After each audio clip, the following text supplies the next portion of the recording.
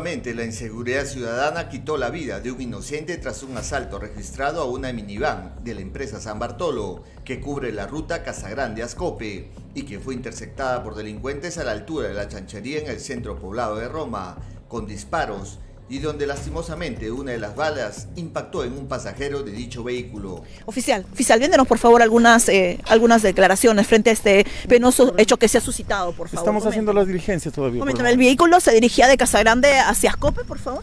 No tengo claro ese tema todavía, eso lo maneja la comisaría de Roma. ¿Se tiene alguna investigación, alguna de las presuntas eh, personas que deberían ser causadas? Todavía, todavía no, todavía estamos haciendo la diligencia.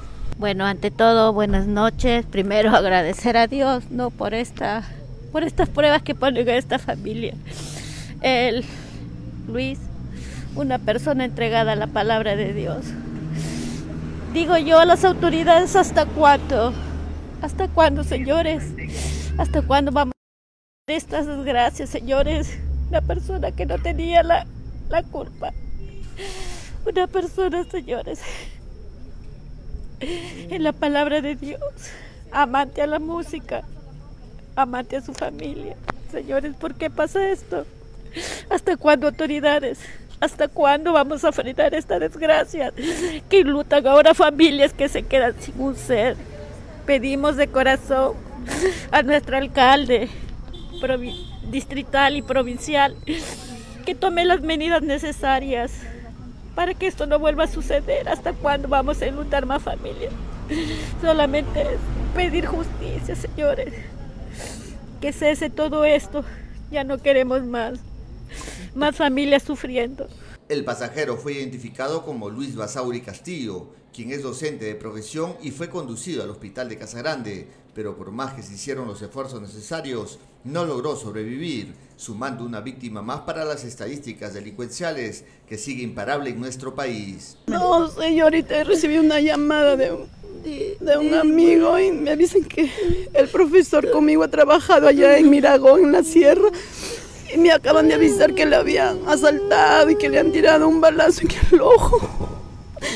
Y vengo a verlo acá por emergencia para avisar a su esposa y me entero de que también ya murió. ¿Cuál era el nombre, por favor, de, del Luis Basauri. Luis Basauri. Él es de allá de Ascope. De Ascope es el profesor. Sí, él ha trabajado con usted también en Sí, allá en Miragó. Y he venido ahora a ver, para ver de repente este, ayudar en algo, porque es mi amigo, como mi hermano. Y la verdad, lamentablemente, ahorita recibo las noticias que ya murió ya. Eh, bueno, se dirigía de Casagrande hacia Ascope. No sé, la verdad, no sé, a mí me han avisado por teléfono. El subprefecto provincial, abogado José Villazón Crisólogo, se pronunció ante lo sucedido y lamentó la muerte del docente, quien también fue su profesor, y cuestionó la falta de colaboración de las empresas de transportes para grabar a todos sus pasajeros como medida de disuadir a los delincuentes. Hicimos el año pasado un poco golpeados a nivel del distrito y mantenemos aún esa pena con la pérdida del profesor Luis Saúl Castillo. Eh, de manera personal, mis condolencias a la familia. He sido alumno del profesor, siento mucho el pesar de la familia y como ex alumno también.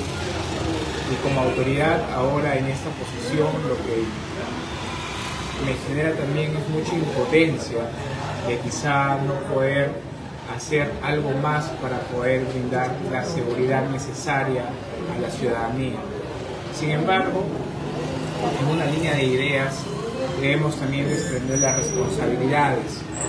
Nosotros a nivel provincial, en reiteradas oportunidades, con el ex comisario, el, el mayor Alberto Salverrey, nos hemos reunido con personal de transporte, con los presidentes de las asociaciones de transportes que hacen la ruta Casagrande, Ascope y viceversa. Y siempre se les ha pedido a los señores que por favor haga la filmación de los pasajeros que suben a sus unidades móviles, teniendo siempre la negativa por parte de ellos. Ya sucedió este hecho. Quizá el grabar o el filmar no va a prevenir de alguna u otra manera que este hecho haya sucedido, pero sí nos ayuda para identificar a la persona que ha cometido este hecho delictivo.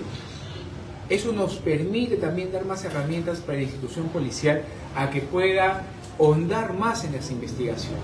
Sin embargo, mi invocación va básicamente hacia ellos.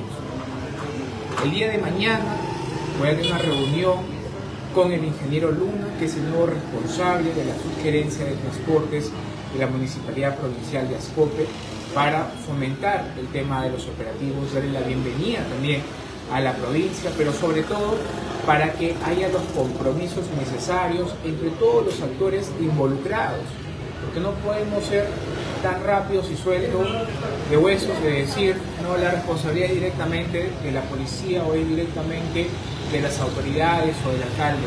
Aquí hay responsabilidad compartida también con los eh, choferes de las empresas de transportes de que no vienen cumpliendo con el tema de la grabación de los pasajeros. También manifestó que no es momento de buscar culpables y que se debe buscar soluciones para frenar esta ola delincuencial y que esta muerte debe llevar a la reflexión para que todos realicen un trabajo articulado a favor de la población. Ya no estamos hablando de a nivel regional, estamos hablando ya a nivel provincial, donde ya las autoridades sí tenemos competencia, donde las autoridades estamos llamadas a poder tener una, eh, un plan estratégico y una solución frente a ello. Esperemos de verdad que este hecho, muy doloroso para todos los que hemos sido alumnos de, de este profesor, nos lleve a la reflexión de no buscar responsables, sino de buscar soluciones donde nos involucremos todos, todos, de manera equitativa y sobre todo de manera imparcial. Esa va a ser la clave para poder brindar la seguridad y reitero mi compromiso y mi solidaridad con la familia Basauri, perdón, eh, está bien, Basauri Castillo. Es un momento muy triste para ellos. Ha sido un gran profesor, un excelente docente, pero este hecho nos tiene que llevar al compromiso de mejorar.